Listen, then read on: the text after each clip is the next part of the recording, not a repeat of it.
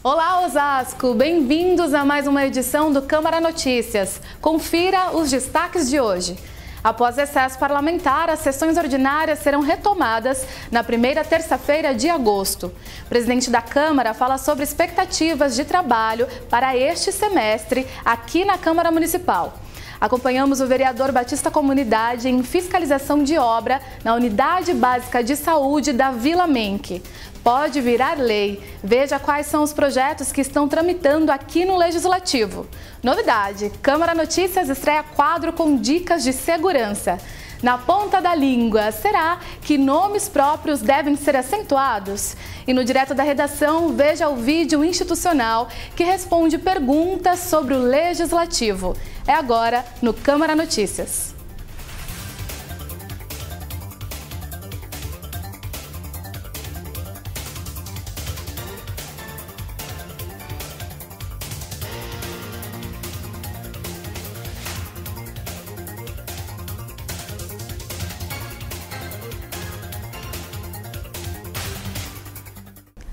A Câmara já está preparada para o retorno das atividades legislativas. A primeira sessão ordinária será na próxima terça-feira, dia 8 de agosto. Para ajustar as diretrizes deste semestre, a mesa diretora da Casa se reuniu no gabinete da presidência no início desta semana. O encontro foi compartilhado em um vídeo nas redes sociais. Acompanhe agora a segunda parte da entrevista com o atual presidente da Câmara, Ribamar Silva, que fala sobre as expectativas de trabalho para os próximos seis meses aqui na Casa de Leis. Qual é a perspectiva para o próximo período, para esses dias que vem aí da, da tua gestão, do seu trabalho, da mesa diretora? Me diga, presidente, por favor. É, são muitas coisas boas que vão acontecer, né? No semestre é, que passou, nós votamos a, a, a o, o, plano de carreira do magistério, acho que de suma importância para a categoria. Nós votamos o IPMO e agora nós temos uma grande, um grande é, acontecimento para a nossa população, que é o bilhete único, né? Então, acho que primeira, na primeira sessão o prefeito vai trazer esse projeto, ele já preparou o projeto, já deve estar protocolando por esses dias agora e ele vai entregar na mão dos vereadores agora é, na terça-feira que vem, no dia 6, que é que vai tramitar nas comissões, que é o bilhete único. E isso é um grande, é, um grande ganho para a população e, e, com certeza vai tramitar nas comissões e os vereadores vão votar isso com maior urgência, porque é uma coisa que vai trazer benfeitoria para a cidade. E tem vários projetos importantes que, que, que vão passar por essa Casa de Lei. O que a gente quer é que seja o próximo semestre seja melhor do que o primeiro, que a cidade avance mais, porque tudo que acontece na cidade, o que aconteceu aos 57 anos da nossa cidade, o Poder Legislativo sempre teve a sua contribuição, sempre teve a sua parcela. E não vai ser diferente nesse próximo semestre, no próximo é, restante do mandato dessa legislatura, é, da Câmara Municipal deixar a sua parcela de contribuição para o avanço da nossa cidade. Então, em nome da mesa diretora, em nome de todos os parlamentares, gostaria que o senhor deixasse um recado para a população sobre a importância da Casa de Leis para que uma cidade cresça e, e prospere. É, eu acho que a importância é que tudo, se o poder executivo e o poder legislativo andar junto, entendeu? São dois poderes distintos e a gente sabe disso. O poder executivo é um poder, o legislativo é outro poder, o judiciário é outro poder. Mas se o executivo andar é, atrelado ao o, o, o, legislativo, com certeza a cidade é, vai avançar muito. E o que nós queremos é que o prefeito mande projetos bons para essa casa, que essa casa vai avançar avaliar. E os projetos que for bom para essa casa, é, é, para a cidade, com certeza essa casa aprovará. Os projetos que não for bom, você pode ter certeza que essa casa não aprovará, porque é, quando você é, é eleito vereador, você vem aqui para defender os interesses da população. E essa casa, ela faz a intermediação do, do povo ao executivo. Então nós estamos aqui para defender a população, defender os interesses da população. E isso não vai faltar à Câmara Municipal. Os vereadores estão aqui é, é, querendo o, avanço da nossa cidade. Nossa cidade hoje é uma cidade grande, uma cidade bonita, uma cidade rica, que tem muitas coisas, a gente sabemos que muitas coisas melhorou e tem muitas coisas a melhorar. E o, qual é o papel do Legislativo? É fazer que a cidade avance. Então, é, no próximos seis meses que nós vamos, estamos fazendo aqui essa discussão aqui, nos próximos seis meses, pode ter certeza que essa casa não faltará com empenho, com vontade de fazer projetos bons, de aprovar esses projetos que, benfeitor, que traz benfeitoria para a nossa população. Então, isso aí, Ana, você pode ter certeza que nós não vamos nos cansar enquanto não vermos uma cidade mais justa e mais humana, que é a cidade do nosso povo, a nossa cidade de Osasco, que nós amamos muito. Para assistir às sessões, você pode vir direto à Câmara ou acompanhar online no site do Legislativo, osasco.sp.leg.br e também pelo Facebook da TV Câmara. As sessões acontecem todas as terças e quintas-feiras, pontualmente às 3 horas da tarde. Uma unidade básica de saúde na Vila Menck está em reforma. O vereador Batista Comunidade, que é morador do bairro, foi fiscalizar o andamento da obra. Nós estivemos juntos. Acompanhe na reportagem. Em 2012, havia uma cogitação de que aqui, onde existe a UBS Márcio Valdivino Batista, fosse instalada uma delegacia de polícia do sétimo departamento. Mas, graças a uma intervenção do Batista, em conjunto com a comunidade, foi movido um abaixo-assinado e mantida a UBS aqui. Essa unidade é, praticamente foi uma das primeiras ações da gente, né, junto com os moradores, e a gente tinha diversos problemas, né? Infiltração, telhado, a pintura. Então a gente resolveu é, fazer essa nova indicação, nessa, nessa reforma que a Uninove vem fazendo na cidade, junto com o nosso prefeito, a gente pediu que essa unidade fosse uma das é, que tivesse essa atenção. Tanto essa como a UBS do Três Montanhas, que é uma das piores do município. Né? Então, é, a gente está praticamente, acho que cinco meses parado, né? aqui a unidade, é, desativada, a gente transferiu lá para a UPA, a parte de cima, como tinha algumas salas vazias, a gente mudou para lá, a UBS está atendendo, e para poder fazer as nossas reformas aqui, né, as necessárias. Né? Então, como vocês veem, ela está tá tudo vapor, né? acho que mais um mês, dois meses, acho que a gente já tem ela totalmente restaurada para poder atender a nossa população, né? Com, com parte de acessibilidade, né? É, a gente fez algumas mudanças, mudou algumas salas, então como você está vendo, está ficando bem, bem interessante, bem legal para atender nossa população da melhor forma. Após a fiscalização à obra da UBS, acompanhamos o vereador até a UPA 24 horas, que é ao lado da casa do parlamentar. O assessor do vereador Batista diz que a ida à UPA é parte da rotina diária do vereador, que faz questão de ver como estão os atendimentos na unidade de saúde todos os dias pela manhã. A UPA 24 Horas foi adaptada para acolher as especialidades que a Unidade Básica de Saúde em Reforma oferece. Andréa Brandão, gestora da UPA, mostrou como foi feita essa adaptação. É nesse período em que os atendimentos estão sendo prestados aqui, como que tem sido receber a demanda dos cidadãos, o atendimento às consultas, como que os próprios médicos estão recepcionando isso? Está dando certo? Está dando certo sim. Tá, nós subimos para cá em fevereiro, né? E assim, eles receberam a gente muito bem aqui. Nós temos os excelentes profissionais aqui, tanto que aqui essa a sala do dentista, né, do odonto faz parte da UPA Menk, né? Vou te mostrar aqui a sala do pediatra, tá? É, nós atende aqui o doutor Eduardo, um excelente pediatra, tá? Ele trabalha aqui. Nós temos a sala também do clínico, né? A sala do clínico também, duas salas de clínico, é, isso, o clínico atende, né? Aqui nós temos o banheiro para é, deficiente, né? Que é o usuário de cadeirante, nossos banheiros. Nós temos aqui ortopedia, porém a ortopedia não é da UBS Vila Menck, né? Faz parte, faz parte da UPA Menck. Mas, assim, quando eles podem, eles também nos ajudam, né? Quando chega um caso para a gente aqui que o clínico acha que precisa de ortopedia, os médicos daqui ajudam a gente também. Nós temos uma parceria muito boa, eles são muito é, amigos, né? Eles entendem é, o trabalho que a gente tem, a dificuldade para poder conseguir algo e ajuda a gente, né? A gente, o médico prescreve, desce para eles, eles recebem os pacientes da gente com o maior carinho. Se a gente não pode reclamar o carinho que eles tiveram com a gente aqui né? Quando a gente sair daqui, a gente vai sentir muita falta. Vou te apresentar mais aqui um pouquinho da UBS.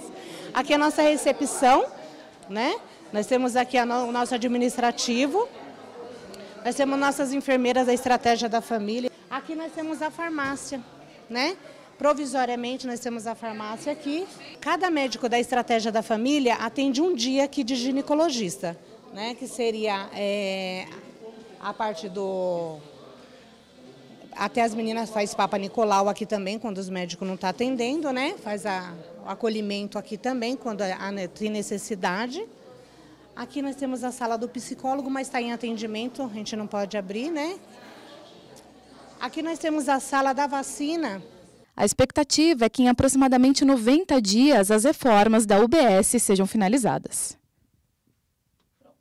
E no próximo bloco, durante o recesso, os vereadores protocolaram diversos projetos que podem virar lei. Acompanhe quais são e também a estreia do quadro em parceria com a Polícia Militar, que traz dicas para tornar seu dia a dia mais seguro. É daqui a pouco, depois do intervalo.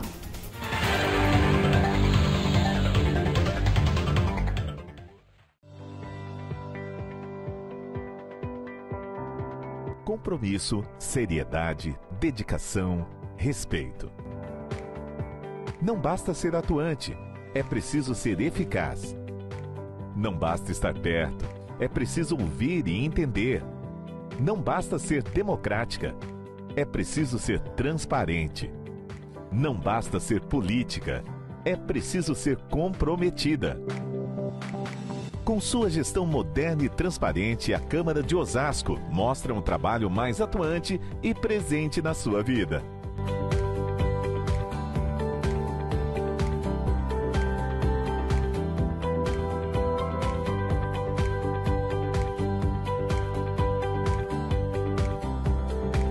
Câmara Municipal de Osasco, mais perto de você.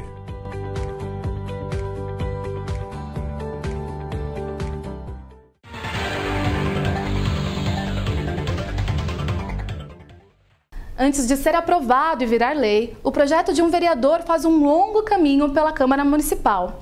É que ele tem que ser analisado previamente pelas comissões permanentes da Casa e, caso haja um parecer favorável, aí sim ele vai ao plenário para passar por duas votações. Se houver a aprovação da maioria do parlamento, aí ele segue para a avaliação do prefeito, que pode vetar ou sancionar a lei.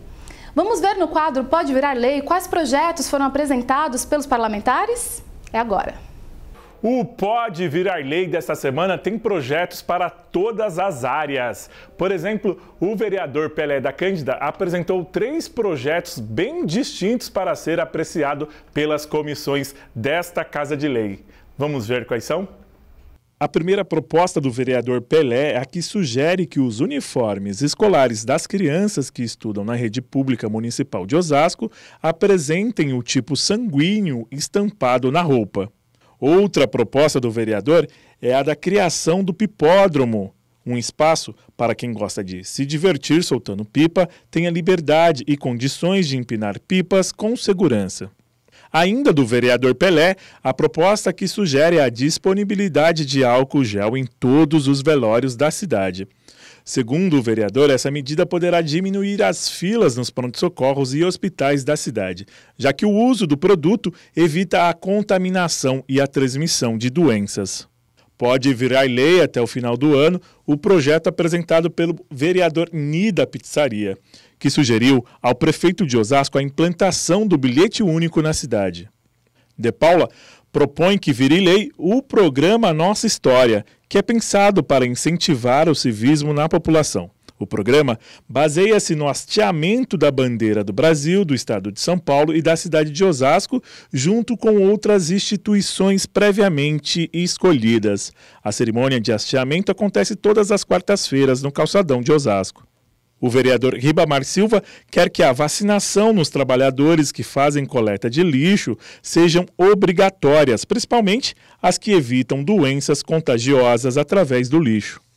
A vereadora Lúcia da Saúde apresentou uma proposta que obriga os donos de pet shops a colocar câmeras que vão acompanhar os banhos e tosas dos animais. As imagens terão prazos para serem solicitadas caso o dono peça ao estabelecimento.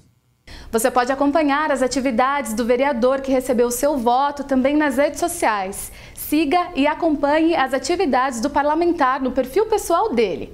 Fique por dentro de todas as ações realizadas pelos representantes do povo. Estreia agora aqui no Câmara Notícias o quadro Dicas de Segurança com a Polícia Militar.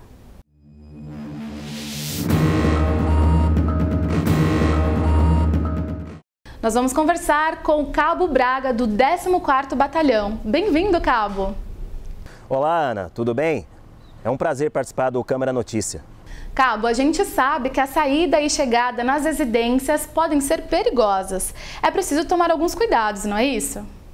Isso mesmo, Ana. É muito importante esse assunto. Ah, no quesito a segurança, a chegada e saída da sua casa, seja de veículo, seja a pé, seja de moto.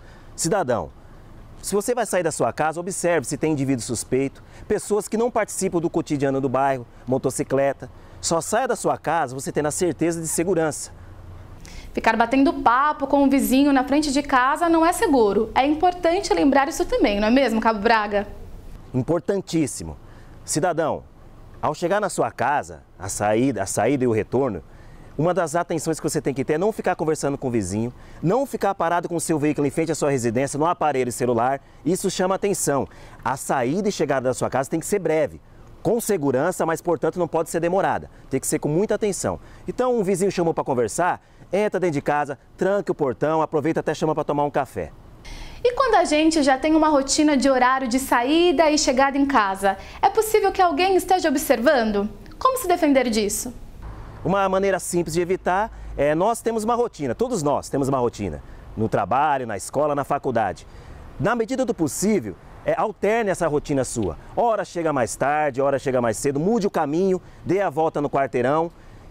E, é importante mudar a sua rotina porque o criminoso ele observa a sua rotina, seja horário de saída, horário de chegada. Muito obrigada, Cabo. Nós agradecemos muito a sua participação aqui no Câmara Notícias.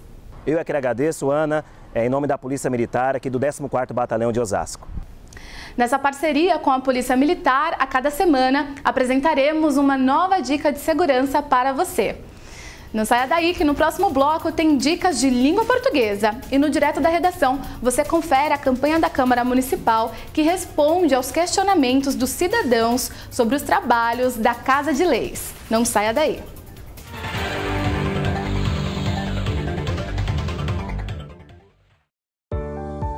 Não importa aonde você vá, o caminho que você percorra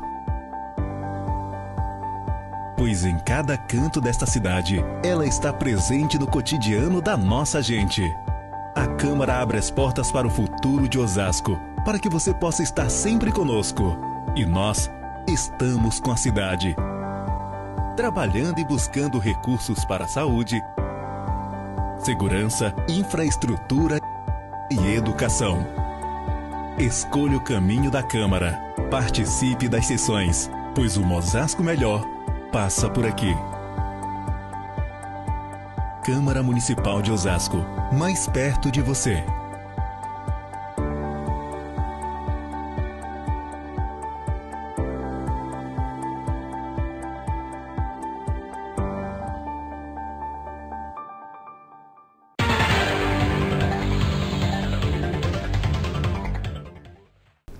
Grande dúvida da maioria das pessoas é sobre o acento em nomes próprios. Afinal, nomes de pessoas precisam receber acento gráfico? Tome seu assento que agora o Hariton vai explicar para nós. Tá bem ali, na ponta da língua.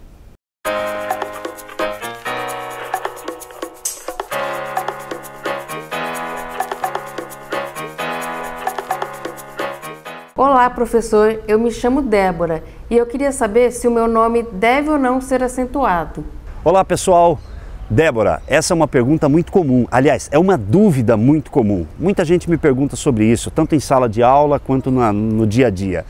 E eu tenho uma coisa a responder para vocês. Sim, o seu nome precisa ser acentuado. Assim como qualquer outra palavra da língua portuguesa, os nomes próprios também se encaixam dentro das regras de acentuação. Eu vou explicar isso para você. Todo mundo se lembra o que é um substantivo, certo? Substantivos são as palavras que dão nomes aos seres. Árvore, céu, escada, óculos, cabelo, essas palavras são chamadas de substantivos. Existe um outro tipo de substantivo que é o substantivo próprio, que são as palavras que dão nome a seres. É, João, Paulo, Márcio, é, Japão, Canadá. Tanto o substantivo próprio quanto o substantivo comum estão dentro das regras de acentuação da gramática. Isso quem diz é o nosso acordo ortográfico.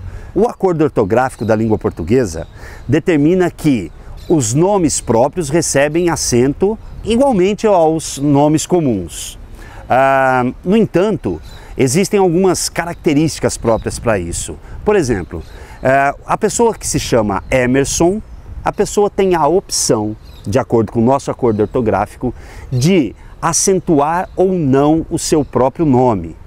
Então, o Emerson escrevendo o seu nome, ele pode ou não acentuar. Porém, se outra pessoa for escrever o nome do Emerson, um documento oficial, um registro de nascimento, é obrigatório acentuar. A acentuação é obrigatória. Existe um outro detalhe nisso tudo também. Nomes de praças, de logradouros, de cidades, de, de ruas, essas não precisam atender às regras gramaticais, ou melhor, precisam atender ao, novo acordo ortográfico. Por exemplo, Pompeia, de acordo com o novo acordo ortográfico, perdeu o acento. No momento de se, de se escrever o nome da rua, tem que atender ao acordo ortográfico, ou seja, sem acento. E por fim, o acento de nome próprio de pessoa já falecida deve estar presente. Por exemplo, o indivíduo morreu e vai fazer a lápide dele, naquele momento a acentuação deve ser utilizada. Então, Débora, o seu nome sim recebe acento. Se você quiser acentuar ou não, tudo bem, fica a seu critério. Se eu for escrever o seu nome, eu vou ter que acentuar. Ok? Débora e outros nomes próprios estão dentro das regras de acentuação. É isso aí, um grande abraço, na ponta da língua.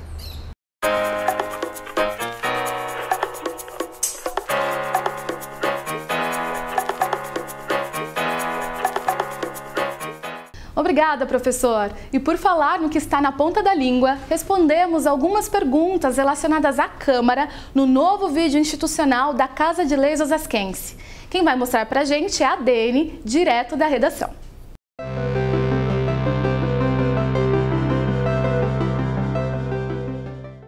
Olá, Ana Paula. Olá, amigos do Câmara Notícias. Hoje eu estou aqui para contar para vocês uma novidade. A Câmara Municipal já está com cinco novos vídeos institucionais para apresentar a campanha Mais Perto de Você, cujo objetivo é aproximar a população dos trabalhos do Legislativo. Esses cinco vídeos foram feitos de uma maneira bastante descontraída. Eles trazem perguntas da população sobre o trabalho, o funcionamento aqui do nosso parlamento. Um, um dos vídeos fala sobre o papel dos vereadores, o outro fala sobre a ouvidoria. Temos também um vídeo que fala a respeito do, da escola do parlamento e, por fim, também o portal da transparência, que, que é um dispositivo que a população pode usar para poder acessar as informações a respeito do nosso parlamento.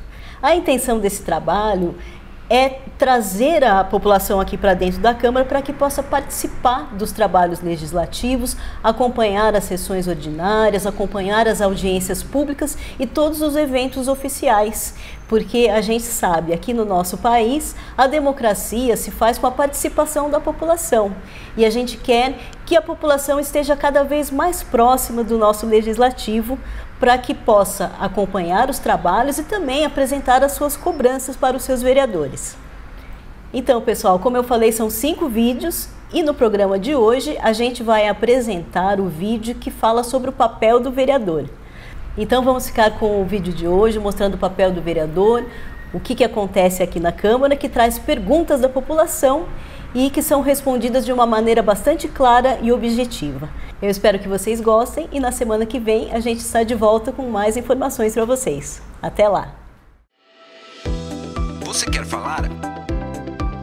A Câmara quer te ouvir. Posso pedir para o vereador construir uma escola no meu bairro? O vereador não tem poder de construir uma escola, nem de asfaltar ou iluminar a sua rua, mas ele pode e deve encaminhar as suas reivindicações ao prefeito.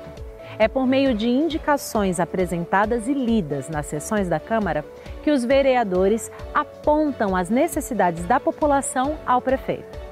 A realização de obras públicas é de autonomia exclusiva do Poder Executivo, ou seja, da Prefeitura. Então, qual a importância de um vereador? Muito mais do que representar os anseios da população, os vereadores são os responsáveis por fiscalizar como estão sendo investidos os recursos públicos, seja na saúde, segurança, infraestrutura ou educação. Além de zelar pelo bom uso do dinheiro público, os vereadores têm o papel de legislar, ou seja, criar e aprovar leis que refletem diretamente na sua vida. E é verdade que o vereador só trabalha de terça e quinta? Não, não é verdade. Os vereadores trabalham todos os dias da semana, seja atendendo o público em seus gabinetes na Câmara Municipal ou nas ruas, ouvindo as reivindicações da população. A Câmara está de portas abertas e os 21 vereadores estão sempre dispostos a te atender. Câmara Municipal de Osasco, mais perto de você. Bem-vinda de volta, Dene. Espero que tenha aproveitado bastante as férias no Nordeste brasileiro. Neste final de semana, por aqui em Osasco, as temperaturas não estarão altas como costuma ser no Nordeste. Uma frente fria baixa os termômetros por aqui. Fique atento. Se for sair, leve o agasalho e também o guarda-chuva. Eu desejo a você um final de semana bem agradável. Nos vemos na próxima edição.